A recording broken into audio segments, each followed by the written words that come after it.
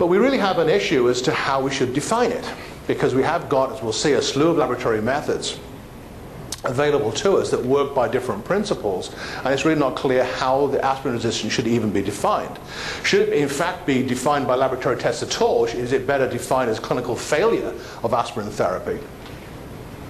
Or should it be defined as a, uh, the inability of aspirin to specifically inhibit platelet uh, function by the aspirin sensitive pathway? Or, since there is a method out for this, uh, should, it, should it or could it be defined uh, by uh, a normal urinary concentration of thromboxane metabolites, such as uh, uh thromboxane B2 accumulation in the urine? And we'll talk a little bit about that. So we'll leave the, the, the clinical failure uh, aside and now concentrate on, on what the laboratory uh, potential is for, for assessing and uh, measuring aspirin resistance.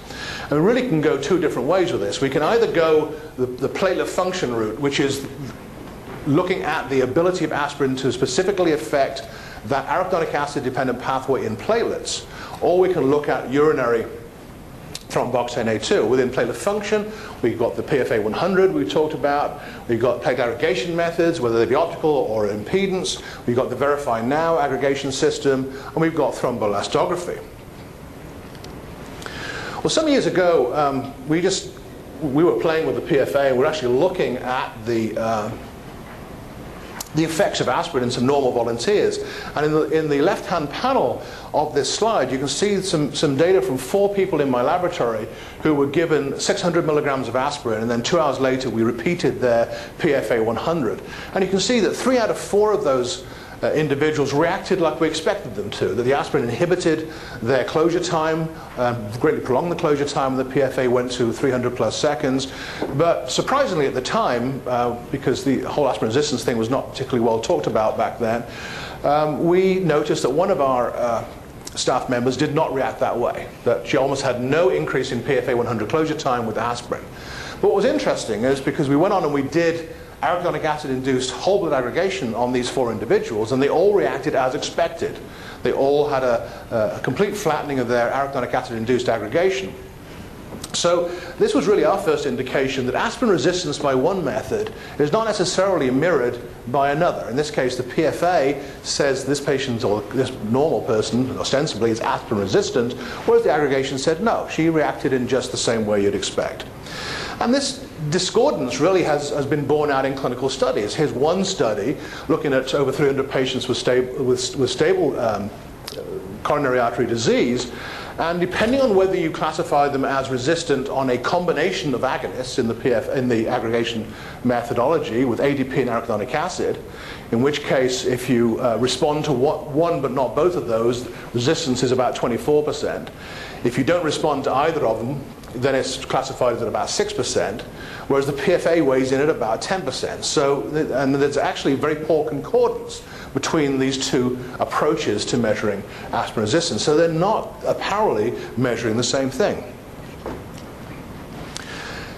Now, there seems to be little question that if, for example, if we take the PFA as shown in this slide, that the results of the PFA, if we call if we define aspirin resistance as a normal closure time, even in the face of aspirin therapy, and that's how we define aspirin resistance, that there is a correlation between that finding and clinical outcome. So for example, this is a stroke study. It's a small study, but it's interesting because these are stroke patients followed up for two years.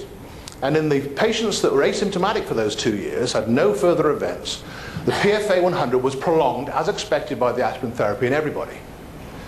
But if you look at the other group that were symptomatic, they, they had a stroke or a transient ischemic attack sometime in that two-year follow-up period.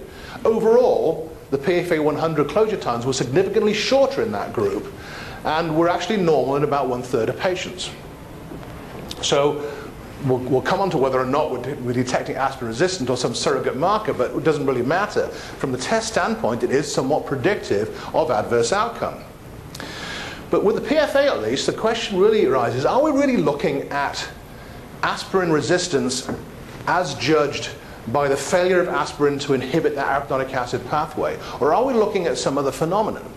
And it seems to be with the PFA that at least part of the story is that a lot of these patients have elevated levels of von Willebrand factor.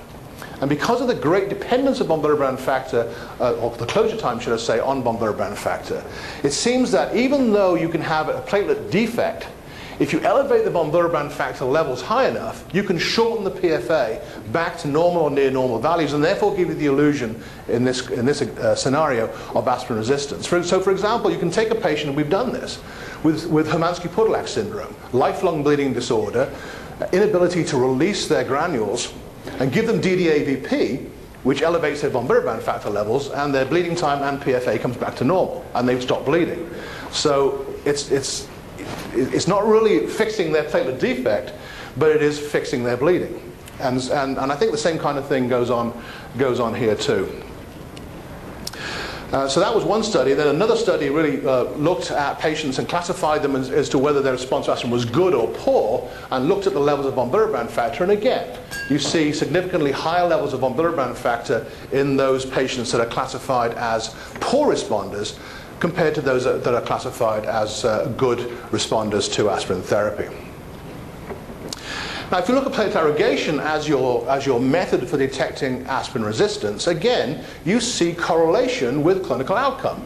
Um, here's a study, which is actually the same study that you saw earlier, just some different data attached to it. And you can see that if the about 5% of patients are classified as aspirin resistant when they, are, they, they show normal aggregation to those two agonists. And those patients had about a threefold increased risk of recurrent myocardial infarction or major adverse cardiac events. Now the VerifyNow aspirin assay, I showed you the, the, the, broad principle in a previous slide. Now what I'm showing you is the specific principle for the, their aspirin assay. And basically the, the platelets are activated with arachidonic acid, again causing the exposure of, of glycoprotein 2B3A in activated form, and those can then cross-link those fibrinogen-coated beads and give you an aggregation.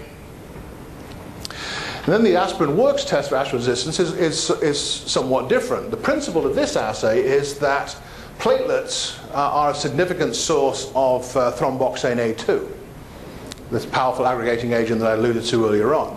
Well, thromboxane A2 is extremely unstable and metabolizes spontaneously to a stable metabolite, thromboxane B2 and thromboxane B2 appears and accumulates uh, in, the, in the urine. And so the, the idea is that in a patient that's on successful aspirin therapy, their ability to make thromboxane A2 and by inference thromboxane B2 will be diminished. And so levels of thromboxane B2, or more specifically 11-dehydrothromboxane B2, uh, in the urine will be decreased.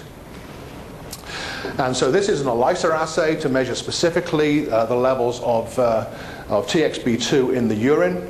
And so normal levels or near normal levels of thromboxane B2 in the urine is taken to be uh, indicative of aspirin resistance. And once again, if you look at the data, and these data were published a few years ago now in circulation, there seems to be a, a, a clear relationship between the levels of thromboxane B2 in the urine and the risk of recurrent cardiovascular events. And again, it's, it's quite consistent in the literature with all these different tests that aspirin resistance defined by any of these tests seems to confer about a three to four fold increased risk of major cardiovascular events and, and in this particular assay is somewhat related to the levels of uh, thromboxane B2 in the urine.